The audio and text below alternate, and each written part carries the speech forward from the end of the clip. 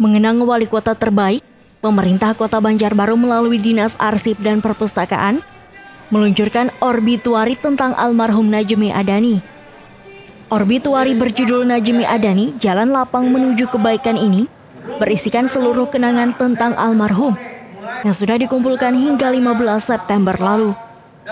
Bahkan kumpulan kenangan itu tak hanya dituliskan dan dikirim oleh masyarakat kota Banjarbaru, namun juga dari seluruh Nusantara, Sabang hingga Merauke.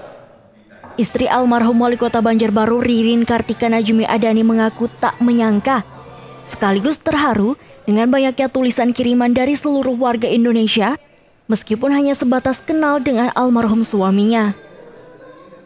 Jadi memang e, kemarin ada beberapa tulisan ya, puisi maupun tulisan e, tentang almarhum dan itu saya sangat e, biasa ya mengapresiasi karena ternyata almarhum ini sangat e, di apa namanya dikenal dikenal sampai dari Sabang sampai Merauke. Jadi waktu acara ini pertemuan yang tahun-tahun yang lalu mereka sudah sangat terkesan walaupun tidak e, apa semua acaranya kan sebentar-sebentar tapi ternyata itu berkesan bagi masyarakat uh, bukan hanya warga Banjarbaru tapi juga yang dari luar. Juga mereka menuliskan tentang apa saja sosok tentang almarhum Najmi Adani. Jadi itu yang saya sempat membaca juga tulisan-tulisan yang dibuat oleh mereka ternyata luar biasa.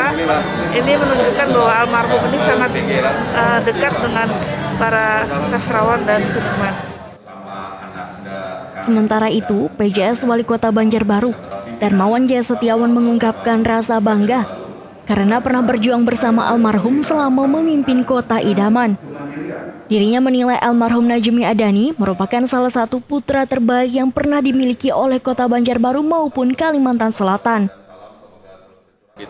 Peluncuran buku obituari uh, Bapak Haji Nasmi Adani, Jalan Lapang uh, Menuju Kebaikan, yang ditulis oleh banyak penulis dari uh, kabupaten kota di Kalimantan Selatan dari berbagai kali, kalangan.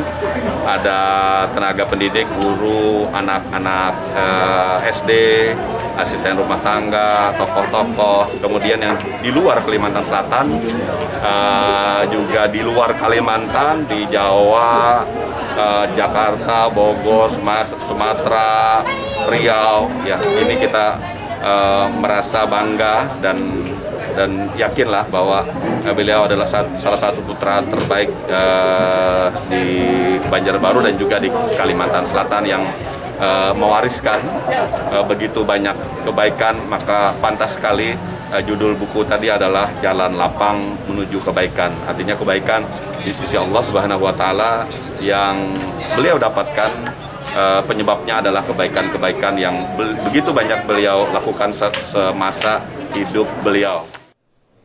Peluncuran orbituari tentang almarhum Najmi Adani ini ditandai dengan penyerahan langsung oleh Darmawan Jaya Setiawan kepada istri almarhum Ririn Kartikarini dalam pembukaan Banjarbaru Rainy Day 2020. Dari kota Banjarbaru, Hans Kimberlan Hukatpu Banuatv.com melaporkan.